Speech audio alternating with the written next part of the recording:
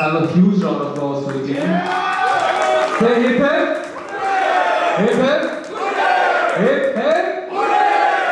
Thank you for entertaining us and it was really good having you here. To the entire team, cheers and we look forward to having you once again.